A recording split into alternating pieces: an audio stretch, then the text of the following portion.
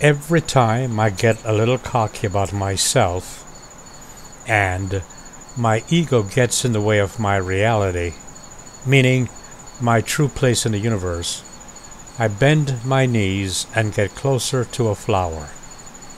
I get quiet. I am still. I allow my mind to go blank, as blank as I can get it. I get ready to observe. I have seen this scene a thousand times, and I have photographed this scene or one similar hundreds of times, and I'm always amazed. The symbiotic relationship between an insect and a flower. Dissimilar life forms alive and well because they depend on each other. How did that begin?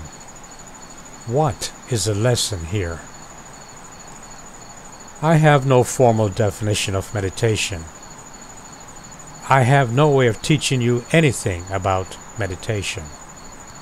I do, however, know how to be still, to be aware of my breathing but not control my breathing. I know how to relax. I know how to make myself ready to listen, not so much with my ears, but with my heart, my feelings.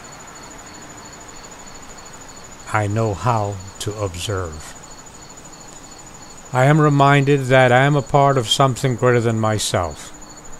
I am reminded that I am no better than any other creation. I am.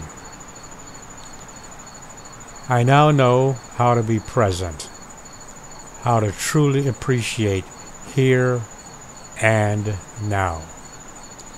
I am.